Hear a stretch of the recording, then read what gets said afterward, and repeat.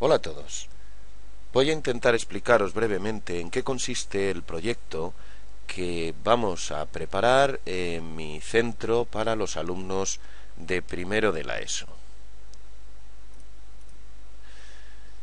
En primer lugar, decir quién soy. Soy Pedro de Oz, soy profesor de Biología y Geología en el IES Lázaro Cárdenas de Collado Villalba y el proyecto que voy a intentar realizar lo he titulado La célula en tus manos.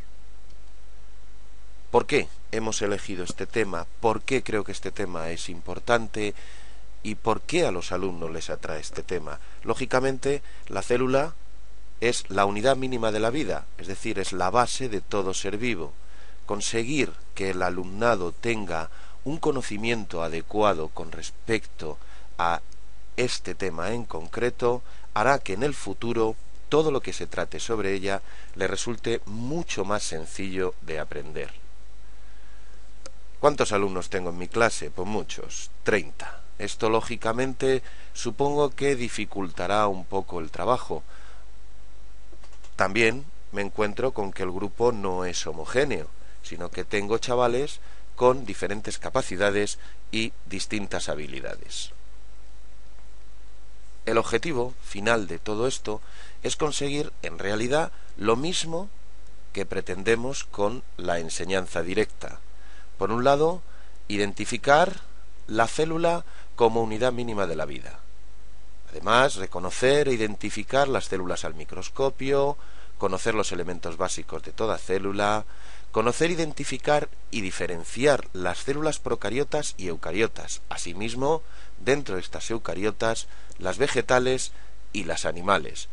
Por supuesto, debemos conocer también cada una de las funciones de estos elementos. El producto final, pues va a ser triple. Vamos a tener, por un lado, un cuaderno en el que va a aparecer todo el vocabulario y todos los términos relacionados con la célula.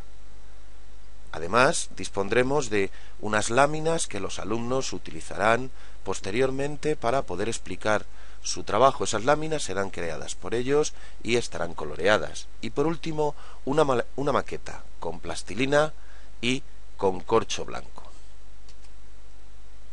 La metodología que vamos a utilizar no es compleja, es sencilla. En principio, intentaremos que el alumno consiga el vocabulario. Esto lo haremos en el aula y para eso utilizaremos un vídeo que los profesores de ese centro hemos creado, el libro de texto que tengan los alumnos y un REA, un recurso educativo abierto creado también por profesorado del centro. Este REA lo podrán consultar los alumnos a través de Internet.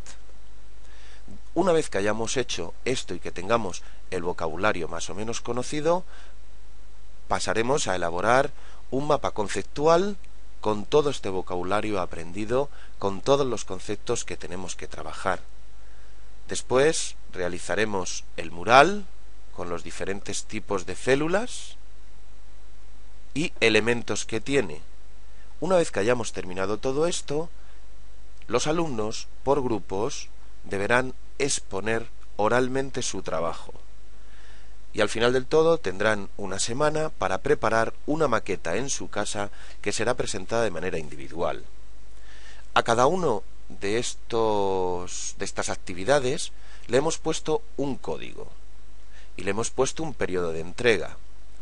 El producto final lo podemos ir evaluando prácticamente a diario, porque todo se hará revisando el cuaderno del alumno, qué se puede hacer en el mismo momento en el que está trabajando, y las cartulinas donde los alumnos plasmarán los dibujos necesarios sobre la célula. La exposición se evaluará en el momento y la maqueta cuando se entregue.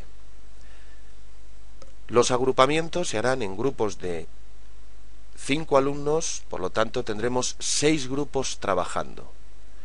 Para realizar todo esto necesitaremos un aula con conexión a Internet y una pantalla, excepto en la última actividad, que es la de la preparación de la maqueta tridimensional de la célula, que el alumnado la hará en casa. Espero que os haya gustado.